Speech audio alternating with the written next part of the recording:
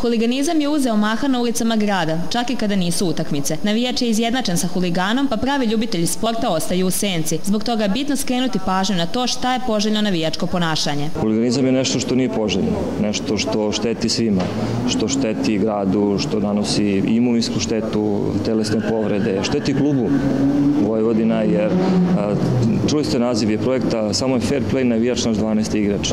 Ko je u sportu ko igra vrlo dobro zna da su navijači 12. igrač. Akcija će prvenstveno biti usmerena ka mladima. Radionice će se održavati u osnovnim i srednjim školama, kao i različite tribine. Deo aktivnosti odvijaće se i na stadionu Karadžorđe.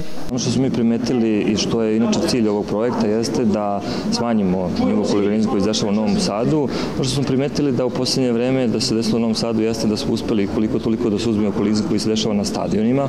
Ostoje taj takozvani verbalni huliganizam, ali nam se nažalost sa stadiona huliganizam prelio na grad, na ulicu, na škole i na druga mesta koja se dešava u gradu. Značaj fair playa prepoznao je i grad, ali i Futbolski klub Vojvodina, Nezavisno društvo novinara Vojvodine i OEPS. Zajednički cilj im je da zaustave huliganizam koji ugrožava sve sugrađane.